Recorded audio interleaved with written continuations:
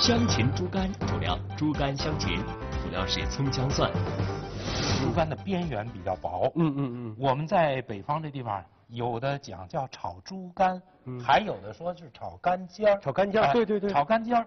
为什么叫肝尖儿呢？嗯。其实是把猪肝这样打成条，打成条，打成条，嗯嗯，打完以后顶刀切成片儿，顶刀切成片儿。哎这样切成片儿。切完的片儿呢，这个猪肝的片儿边缘有一个尖儿啊，有一个小角儿，啊，这个尖儿其实就是猪肝的边缘边缘嗯。这样形成的，人们管它叫肝尖儿。好，这猪肝切好了，下边呢咱们处理芹菜。芹菜，嗯，芹菜我们取的是香芹，香芹。有的地方也管它叫水芹。水芹，对啊对对，这种芹菜比较细，比较嫩。嫩哎嗯，我们说芹菜里边含有丰富的维生素 C，维 C，嗯，叶子里也多，也多，啊对对对对，还有这个铁呀等等。嗯，您看您听好了啊，这个芹菜啊，这个梗儿我们可以来做这道菜，这嗯。叶子你可真别扔了，嗯，烫一下，凉拌，搁点盐，嗯。爱吃辣的搁点辣椒，特别好。好，这个香芹呢，我们把它切成这种段儿段儿哎，张大叔，嗯，这个主料配料嗯。都切完了，都切完了。咱们下一步该怎么做了？啊？，下一步咱们主料要上姜。要想猪肝的口感嫩，上浆可非常重要。稍后邓大厨不仅要告诉您上浆的秘诀，还要告诉您如何调碗汁，如何快速烹炒。精彩内容咱们马上继续。咱们上浆的时候，猪肝啊嗯里边放一克盐，哎，这个啊放盐的作用是什么呀？让吃起来，你看汁儿在肝的表面，嗯然后你嚼的时候呢，猪肝里面它也有一些咸味儿哎，啊。这个可是有讲究了啊！目的是让你吃的时候嚼到里面，它也有口味儿。嗯。对，再放点酱油，啊呃，半勺酱油，半勺酱油。对，好，小半勺的嗯盐，这个料酒，你看这个小勺，小勺，哎，姜的时候里头放一小勺料酒。一小勺料酒，料的腥味是吧？对，嗯，姜的时候料酒不要多。料酒不要多，嗯。哎，一小勺料酒不要多，嗯，呃，为什么呢？我们上姜最终啊是使表面的淀粉形成一保护层，然后注意，猪肝的上浆一定要放干淀粉。干淀粉，看这小勺干淀粉放啊满满的满满一大勺啊啊其实刚才提问题这位观众朋友啊，他是特别注重养生。其实春天嘛，春属阳，对啊，要补肝。嗯肝呢开窍于目，对有时候呢要是肝血不足，就容易眼睛干涩呀，或者是会发这种发花呀，看不清东西。啊哎，吃点干尖儿补补肝，嗯再加上芹菜，其实也有点补肝的作用。哎，斌子，你说二者一合一，真是，绝配。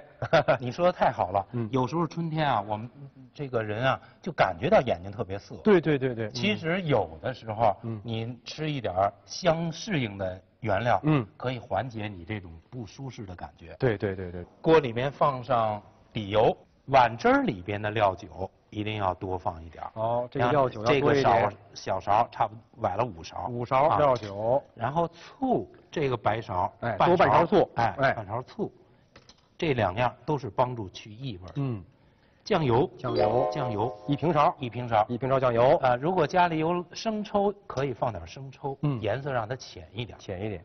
盐，因为刚才已经放过盐了已经盐，这个盐再放一克，这道菜里面总量的盐是两克，两克，两克盐。也是这个小多半勺盐。哎，这个淀粉，咱们最后呢，碗汁儿里要有点淀粉。哦，再加点淀粉对粉。，这碗汁儿里淀粉主要是起到粘稠，这个是呃勾芡的这个作用吧。其实这种炒干尖儿啊，嗯就跟炒那个腰花儿差不多。嗯因为它时间短，所以就把一些调料事先咱们对搁碗里先都备好了，是省的时候炒的时候现放，就对容易把这个就干尖儿就炒老了。啊是是，然后我们切的葱姜蒜蒜末放一半儿，蒜末放一半儿，葱放一半儿葱放一半儿。啊，姜放一半儿，哎，您看好了啊哎，都是一半儿。这邓大厨可是把这调料里边儿葱姜蒜就各放了一半儿进去了啊。放在碗汁儿里。嗯，然后这碗汁儿调好呢，里边再加上一点水，加点用这水里的水哦，加点水。如果有汤，就加点好汤，加点高汤。哎，加点高汤。好，基本上这个碗汁儿就调好了。碗汁儿调好了，这锅也烧热了，这锅已经热了，对油已经很热了。差不多有五六成热。嗯，嗯，大家注意，猪肝放的时候别一下都倒进去，哦，散开，看散开放，散开放完以后迅速搅拌，迅速搅拌。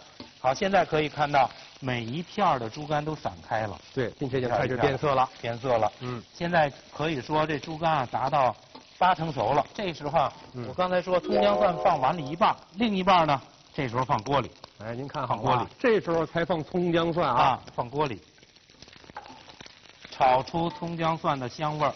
嗯，然后这时候的猪肝能达到九成熟了。九成熟。嗯，烹上碗汁儿，哎，把把刚才的调料汁儿这时候要放进去，对，把淀粉调起来，碗汁儿也是沿着锅边儿这边均均匀的撒进去。对。好，放进以后，因为有淀粉，它凝固了。嗯最后，最后放香芹，因为切的很细，这个这个香芹也很嫩。嗯放进去以后，搅拌均匀，搅拌均匀，稍微一翻锅，稍微一翻锅，装盘。嗯，这个干尖儿啊，特别的嫩。嗯我以前在家炒干尖儿的时候啊，容易给它炒老了。嗯，您这个是不是因为跟它刚才上过姜？上姜是保持它的嫩度。嗯另外，在火上烹炒的时候一定要快。嗯，呃，首先要大火热锅，大火热锅。哎，短时间成熟。嗯如果慢了，里边就容易出水，炒完以后汤汤水水的，味道就不好了。还有这个香芹啊，嗯吃起来特别的脆，嗯爽，嗯，口感也特别好，也是因为芹菜咱们后放的原对，因。后放短时间成熟。